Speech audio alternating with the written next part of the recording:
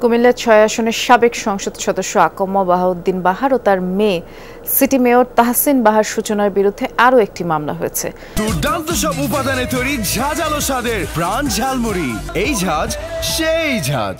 গতকাল রাতে বাহার ও সূচনা ছাড়াও আরও দুইশো তেইশ জনের নাম উল্লেখ করে অজ্ঞাত আরও দেড়শো জনের বিরুদ্ধে মামলাটি করেন ছোটন মিয়া নামের এক যুবক।